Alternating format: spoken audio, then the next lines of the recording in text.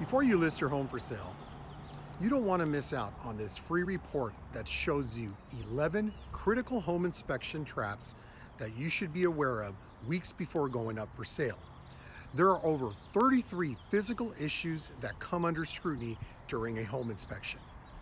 What this potentially may mean to you is a very expensive list of repairs and even a price re reduction request while in escrow.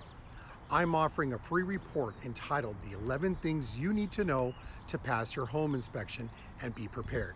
Hi, I'm Allan with owner of Allan V. This Real Estate Team serving the San Fernando Valley and LA areas. I have helped hundreds of home sellers avoid having to pay for costly repairs after buyers demands things that are not required. Did you know that in the state of California, there is no license requirements to be a home inspector? In the past, I had a buyer bring his friend that was a mechanic to do the home inspection. Often, they request for things that are not required to be fixed or even upgrades that are not included in the sale. You should have the big tickets, the more costly mechanical systems checked out before you put your home up for sale. Nearly every homeowner has to deal with AC and heating issues, especially on, on the older homes.